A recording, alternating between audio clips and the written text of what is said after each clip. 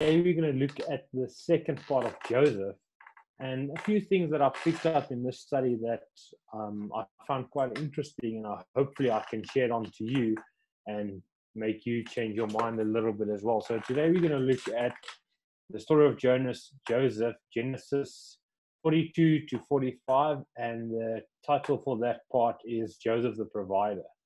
Now, in just recapping quickly what happened in study one, in the modeling phase, we had where Joseph was one of 12 brothers, loved by his father so much that his other brothers hated him and later consp- conspired to kill him.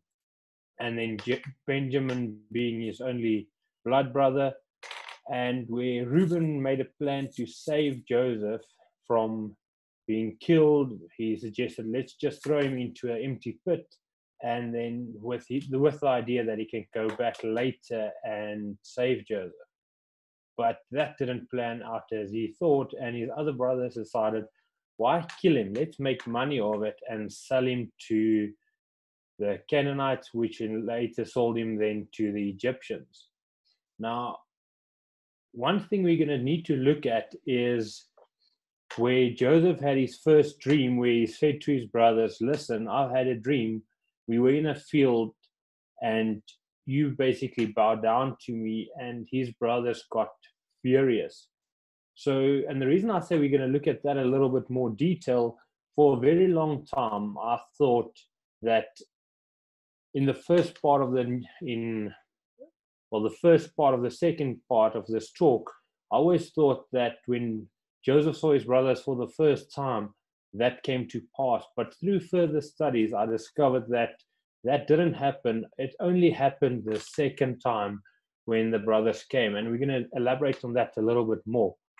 And then the cupbearer and the uh, chief baker had a dream. Joseph interpreted it for them. And for two years, Joseph served in jail under Pharaoh. And then only after two years got called when Pharaoh had a dream. Now, one thing uh, that stood out was that the humility of Joseph that he had when Pharaoh decided, when Joseph told Pharaoh his dream, and Joseph said, Pharaoh, you have to appoint someone who can do this and this. And then Pharaoh, seeing that the humility of Joseph and that he knows what he's talking about, decided to appoint Joseph. And that's where we ended off last time. So let's go back and start in Genesis. We're going to start in Genesis 42, but one thing I want to um, just clarify a little bit is that I touched on the last time, and that is where Joseph had two sons. The first one was Manasseh, for he said, God has made me forgotten all my hardship and all my father's house. He does not this does not mean that he forgot about his father. He just forgot all the bad that had happened to him and he decided to move on. Now, Joseph named his son that in the reason to remind him of what he had, but also to remind him that you need to move on. You can't dwell on the past. You can't get stuck on something that bad that happened to you in the past, especially if you want to move forward. It's difficult to move forward if you keep on holding on to the bad that happened to you. And then the second one was Ephraim, for God has made me fruitful in the land of my affliction. God used a single person to mold into someone he will need when his people were in trouble. And we're going to look at that at the end of this um, part two series. And that's we're going to look at when his people are in trouble. So in Genesis 2, we start reading about um, the first dream in verse 1 to 5 when Jacob learned that there was grain for sale in Egypt, he said to his sons, Why do you look at one another? And he said, Behold, I have heard that there is grain for sale in Egypt. Go down and buy grain for us there, that we may live and not die. So 10 of Joseph's brothers went down to buy grain in Egypt, but Jacob did not send Benjamin, Joseph's brother, with his brothers, for he feared that harm might happen on him. Now, when I when I came across this and I decided, okay, let's do a study on Joseph because there must be something more that we can learn from Joseph. It dwelled on me that the last time Jacob sent his sons out, one of his sons, one of his favorite sons, didn't come back. So now here, J- Jacob get tells his other sons, go to Egypt, go buy food there, or else we all will die. But he kept one of his other beloved sons with him. He kept Benjamin at home. In verse 6, Joseph's first dream came to pass. His brothers will bow before him, but that was my first thought. With further study, I came to the point that this was only the start of the dream that we read in Genesis 5, verse 8, 5 to 8. Genesis 37, verses 5 to 8. The first part was only 10 brothers, and I would like to say that all 12 brothers were together when he told them about this dream. Now, me personally, I think they would have been together as a as brothers would be somewhere having doing something where Joseph then decided, listen here, guys, I had this dream. Let me tell you about it. Oh, so that's why the reason I think all of them were together. If Joseph would have been there, Benjamin would have been close by Joseph's side, especially because we can't read of anything where they were they were in the fields or they were somewhere. So something tells me that they would have been at home when this came out. Um, about his dream. But let's continue with chapter 42. When Joseph saw his brothers, he started speaking to them harshly in verse 7, probably the same manner his brother spoke to him when he told him about his dream and just in general. Now, one thing that I came when I when I saw when I did this study, we're going to cover a little bit more detail a little bit later on. I believe that God hardened his brothers' hearts in a, such a way that they wouldn't recognize him. Now, if you go, if you don't see your brother or your sister for 10, 15 years, when you see them for the first time, you know, okay, listen, this is my brother. And the reason I say that is why did only Joseph recognize his brothers? Why didn't they recognize him? Just something to think about and then when Joseph saw them, he spoke harshly to them in the same manner that they would have probably speaken, spoken to him before throwing him into the pit. And just in general, but you're such a dreamer. How do you think we're going to bow before you? And in verse 10, the brothers told Joseph that they are his servants. Imagine how Joseph would have felt hearing those words. We are your servants. We are not spies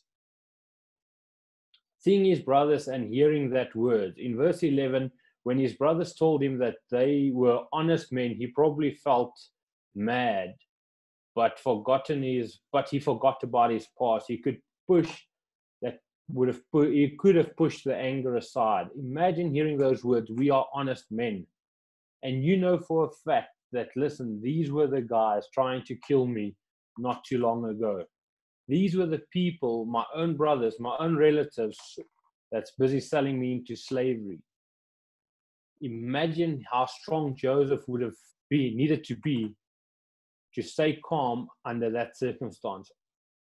And that's why the first part was the molding phase. God used Joseph, He molded him for all these things that is going to happen or that are going yeah, that is going to happen in the future. Now, let's get back to Joseph. Um, you could put your anger aside, like I said, for for he was full of God's glory. He whatever he did was according to God's plan. Joseph needed to find a way for so like I said, this was only the first part. So now Joseph needed to find a way to get all the brothers together in order for the first dream to be fulfilled. That's just my interpretation I know there's a lot of people out there that see it a little bit differently, but for tonight's sake, let's go with that idea. And so Joseph had to make a plan to see how is he going to get his younger brother there as well. So he said, "You spies." And after a while, in verse 15 to 20, he says, I will keep one of your brothers here, And when you bring your brother, youngest brother to me, I will know that you are honest men, and I will let your brother go. Joseph then put them all in jail for three days. Now, the number two and the number three in this in, in this story comes up quite a bit. Another that's another similarity between the story of Joseph and then the story of Jesus. All the brothers were put in jail for three days. Jesus was on, in the grave for three days. But we're going to look at in um, the third study. We're going to look at all those comparisons between Joseph's story and then the story of Jesus. I personally think, well, if it was me, I would have had fun throwing my brothers in jail, especially for three days, and just let them be there. Especially all the things that they did. If someone did it to me, I would have probably not just throw them in jail. But hey, that's just me. Joseph, at least, was much more content with the things he had, and he had God's plan in him in his mind. I'm sure that they can see some similarity here between Jesus and Joseph and Jesus' story. But in the third, but in verse 21 to 23, we read, Then they said to one another, In truth, we are guilty concerning our brother, in what we saw. But then they said to one another, In truth, we are guilty concerning our brother, in that we saw the distress of his soul when he begged us, and we did not listen. That is why this distress has come upon us. And Reuben answered them, Did I not tell you not to sin against the boy, but you did not listen? So now here comes a reckoning for his blood. So immediately they think, okay, because of our brother, this has come upon us. I wonder why they thought that. Surely there must be some link that they could tie up. Now, this is one of the best lessons I learned, and hope that I will also take away. You will also take this lesson away. We do not, we do not know anything and everything of other people's lives. So do not bear a grudge about something you do not know. And let me just clarify that a little bit more. Joseph could have thought that, listen, all my brothers wanted to kill me without knowing that um, Reuben wanted to save him, he would have thought everyone wants to kill me. Instead, Reuben wanted to save him, but he, no, nothing happened of it. And before Reuben can save him, he got saved into slavery. So Joseph would have held this grudge against all his brothers, but through the working of God, he could put it aside and clear his mind, knowing that whatever happened to me we'll see that a little bit later on as well, was God's plan. Um, okay, so I believe this would have been the start of Joseph's heart turning soft from his brothers. He held a grudge for so long, and after finding the truth, he started having peace with his brothers again. Joseph talked to his brothers again in verse 24 and bound Simeon in front of them and gave order for their bags to be filled and also an extra to be added for them for the road. Also turning them, um, returning their money to them. So a little bit further, we're going to see how Joseph would have dropped a little bit of hints here and there in order for his brothers to maybe realize, listen, this is our brother. There's a reason for all these things that's happening to us. But it's mainly going to be in chapter 45 and uh, 44 and 45. So in verse 27 to 28, they hid home, but when they stopped for the night, one of the brothers opened his sack and found him his money there. He told his brothers, and their hearts sank, saying, What is God doing to us? Amazing how all of the guilt started coming back now. When they told their father of this, he told them that you are robbing me of my children, almost like he knew um, of what they did in verse 36. Now, imagine you as a parent or a sibling or something, you, you've got one child that you loved so much. The previous time you sent them out with these 10 brothers, he didn't return. Now you ask him again and say, listen, or someone ask you, listen, we need to go again. We need to go get our brother Simeon back. We need to take your youngest son, your youngest blood with us in order for us to get fed. And from what I could see is that this would have taken quite a while because if there were 10 brothers, all their bags filled with grain, that would have lasted quite a while. And that's when, in verse 37, we see Reuben trying to save the situation again by saying to Jacob, You can take my two sons and kill them if I don't bring back your son. Reuben, in, in his thinking, was sad that he could not save Joseph, but he was very sure that you will be able to protect Benjamin, but Jacob refused. Now let's turn to chapter 43 and start looking at how the story unfolds and where Joseph starts giving little clues, but also the see the fight between the family members of am I going to send my youngest son or are we going to die? So we are not sure, like I said, how long this has been between the two visits, but in this chapter, we will be able to see how Joseph is trying to tell his brothers that, is, that it is him, up to a point where he can't take it anymore. But before we get there, let's first go back to have a look at a little family fight in verses 1 to 7. You can read the whole chapter a little bit later. We can read about his family fight, going back and forth. If Benjamin is going with us, we're not going. Benjamin is the key. We have to take the boy until Judah said, um, said, Send the boy with me before, before we all die in verse 8. I'm going to pause there a bit to just to let you think about what you've known from Joseph up to now and just to dwell on the first first eight verses of this chapter 43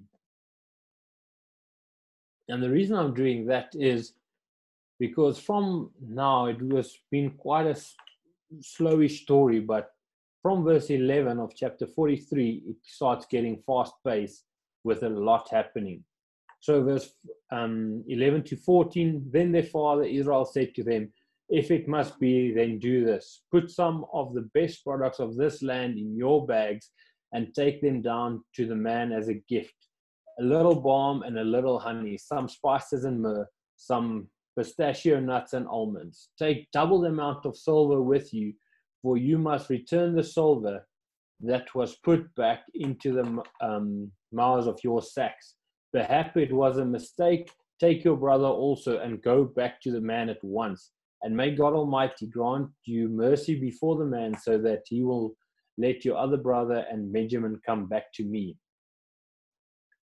Now, when the brothers left Jacob, he said, Take some of the best products, a little bit of balm, a little bit of honey, some spice, some myrrh.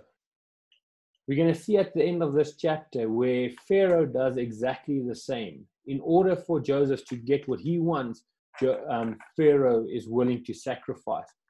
The same, Jacob here is making sure maybe if I send all these gifts to the man, he will forgive us and he will let my son come back from verse 16, we read, um, we start with the next part of our story. Joseph saw his brothers and tell his steward or his housekeeper that he will dine with these men. Now, Joseph's brothers were frightened. They probably felt the same way Joseph would have felt before being thrown into the pit in verse 19 to 22. The brothers went to Joseph's steward and spoke to him about the silver that was in their bags. So here the brothers know, okay, maybe we're going to get punished for the money that came back. Maybe this commander, this high person of Egypt thinks we, we took that money for ourselves. Or maybe it was a mistake, and because we didn't bring it back, now he's angry with us. And this the re- was the reason they thought they were in Joseph's palace and told him they brought extra silver. But in verse 23, the steward tells them that they don't need to be afraid. It is all right, he said. Don't be afraid. Your God, the God of your father, has given your treasures in your sacks. I received your silver. Then I brought Sim- then he brought Simeon out to them. the steward took the men into Joseph's house, gave them water to wash their feet, and provided um, fodder for their donkeys. The first dream now has been fulfilled. All the brothers under one roof, not physically bowing down, but knowing that Joseph is in a much higher place than what they are. They know the situation they're in, and their life is hanging in this person's hand. Um, then the brothers prepared the gift for Joseph in verse 25 to 26, and Joseph started asking questions. Now, this is where you're going to see how desperately Joseph is trying to tell his brothers, listen, it is me.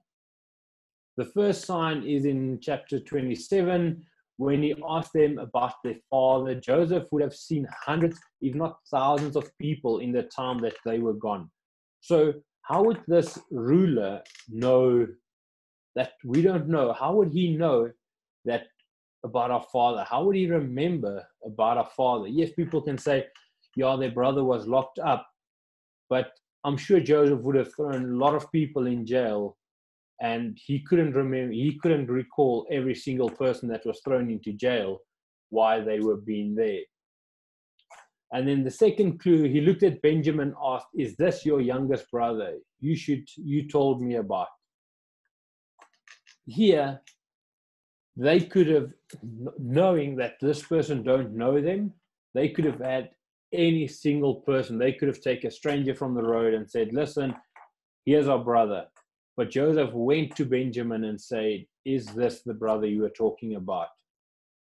And then the third clue is the brothers being seated according to their age. That to me is one of the biggest tells where Joseph is trying to tell his brothers, Listen, it is me. How, who would have known that to sit them according to their age? Sure, maybe they were tall and short, but a lot of things point to that Joseph, well, obviously Joseph knew exactly what the ages were. So what, how can that be? And then the fourth clue, Benjamin getting five times the normal portions. Why? Because the Benjamin being Joseph's related relative, his blood brother from the same mother, Joseph said, Here's five portions more, four, five times the normal portion for you, my brother. Now, in verse 44, we read about Joseph's silver cup. And here I read a few things as well, but it also taught me a few things about Joseph, about his character, and how desperately he's trying to tell his brothers, Listen, you brothers of mine, I am Joseph. I am here to protect you. Okay, so not being able to tell his brothers yet that it is him, he made a plan to see them once again and muscle up courage to tell them. In verse 1 to 6 of verse 44, we read Now Joseph gave these instructions to the steward of his house Fill the men's sacks with as much food as they can carry, and put each man's silver in the mouth of his sack. Then put my cup, the silver one, in the mouth of the youngest one sack, along with the silver for their grain, and he did as Joseph said.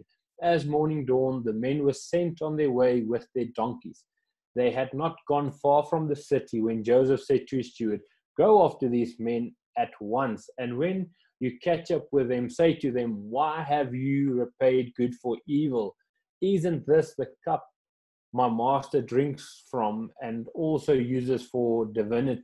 Divination. This is a wicked thing you have done.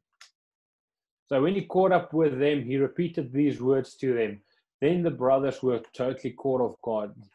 Here they think they left Egypt, everything was fine. They had a nice meal with the ruler, and their brothers are safe, their sacks are filled, so let's go.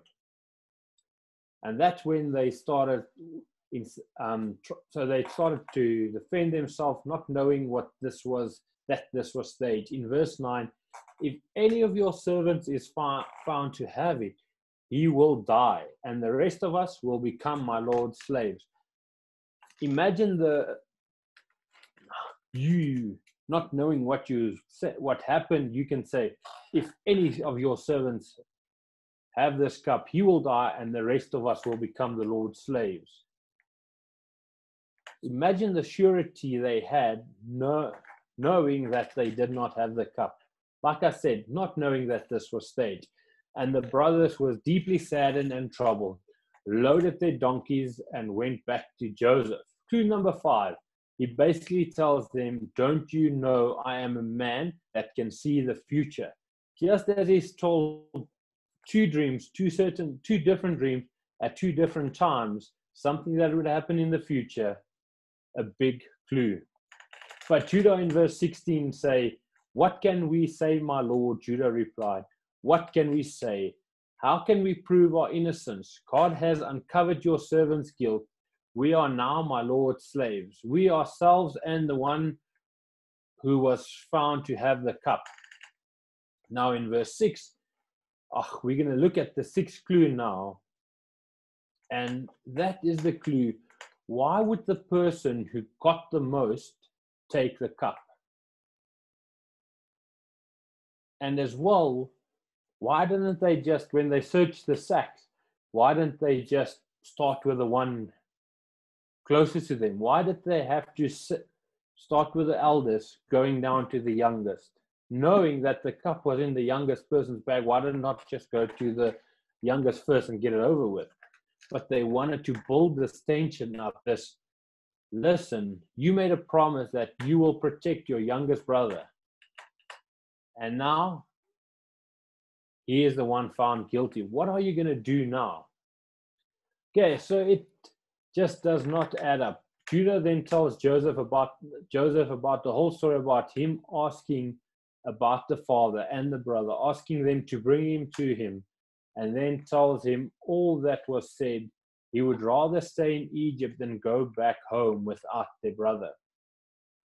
Imagine the fear they had for their father, knowing that, or not just the fear, the heartache, knowing that when you go back without his youngest son, you will be the reason for his death. That heartache was so bad for them that they decided we'll rather stay in Egypt and let our father think that we're still negotiating than going back home without sorry without his younger brother. Now in chapter 45, this is where the story gets saucy. Now this is where Joseph just couldn't take it anymore. He just had to tell them, he had to make it known and say, Listen, you guys, I'm your brother. I am here. Just like I predicted in my first dream when you laughed at me, when you mocked me, when you said you're going to kill me, I still love you. I am here to help you. So let's go to chapter 45, where Joseph makes himself known. In the early verses, we see that Joseph could not hold it in anymore and tells everyone to leave his palace. When he told his brothers that it was him, he wept so loud that the word got to Pharaoh. Now, for Pharaoh to hear this, or the people to hear this outside Joseph's room, he wouldn't have just cried normally. Those would have been thick walls made of big boulders, big rocks, a lot of mortar. So these rooms would have been quite soundproof, but yet word got to Joseph, uh, to Pharaoh, Joseph, your servant is crying. Now let's go back to the brothers. When Joseph told him that, listen, I am your brother, they were terrified. In verse 3, he also asked, when he asked about his father, I believe God would have blinded like I said in the beginning, God would have blinded the brothers a bit so they could not see that this is their brother Joseph maybe there would have been some resemblance or one of them might have picked up listen this is our brother joseph that's might where all the guilt would have started coming in but like i said if you don't see your any relative of yours for quite a while 10 20 years when you see them again for the first time you would normally recognize them from the age from about 16 17 people don't their facial expressions don't change that much until they reach 40, 50, 60 years old. Um, so if he recognized his brothers immediately, surely his brothers should have recognized him as well. In verse 4, he tells them, Come close to me. And when they did, he again said, I am your brother, whom you sold. So twice here, he has to confirm to them, I am your brother. Again, the number two comes up. Two dreams, two different people, two different scenarios, two years in prison, twice I'm your brother. Come back to me twice in order to buy food. And now do not be distressed in verse 5 to 7 and do not be angry with yourselves for selling me here, because it was to save lives that God sent me ahead of you.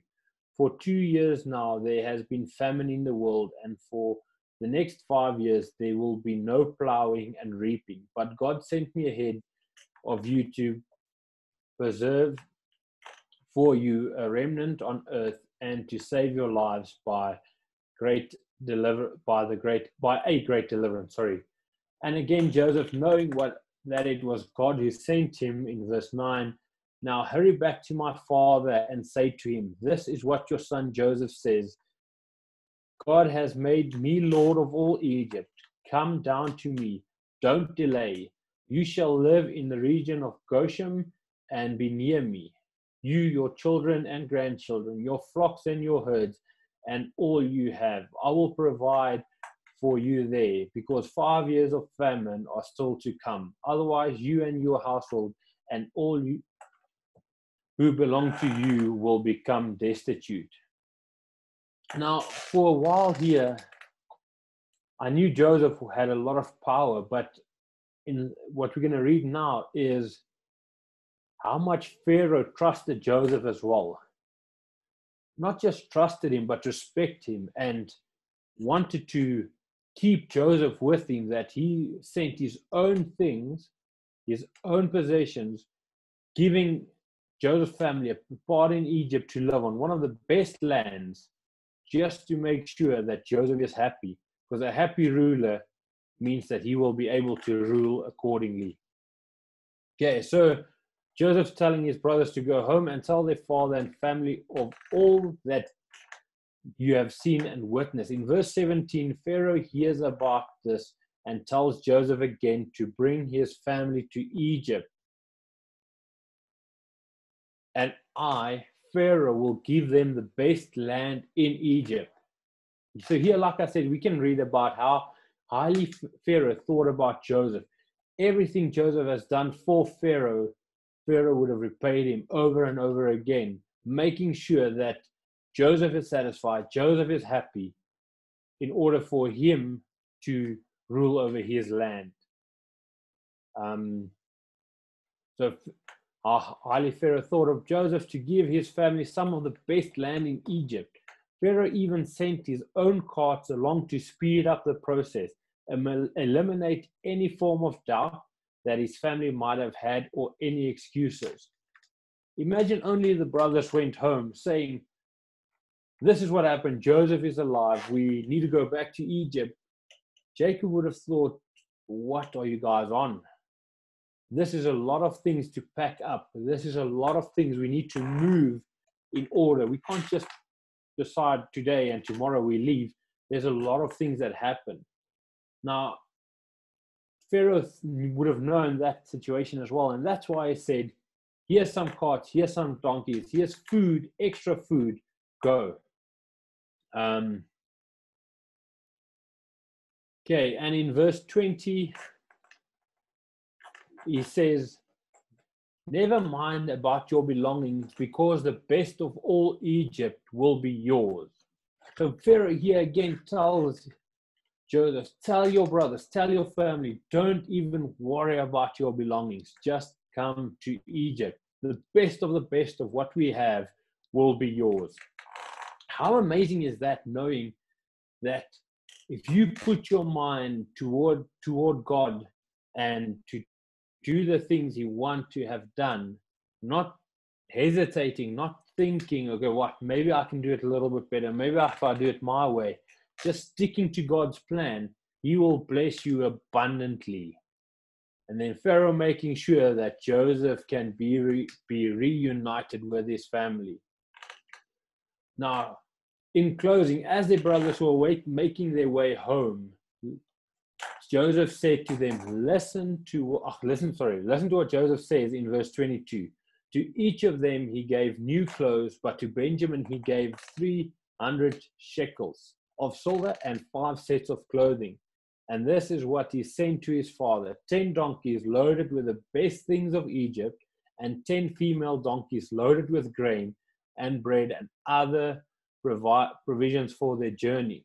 And in verse 24, he tells his brothers, Don't quarrel along the way. I'm sure he would have said that what is done is done. Nothing can change. Nothing can happen to what what we've done. So forget about it. Forget about what you've done. Just move on. And that's what exactly what we need to do as well. That's what the story of Joseph teaches us is so many times in the haste of things we do something out of a rush and most of the times it doesn't add any benefit to us. So why dwell on the past? Let's just move forward there's so many more things that can happen if we just keep moving forward.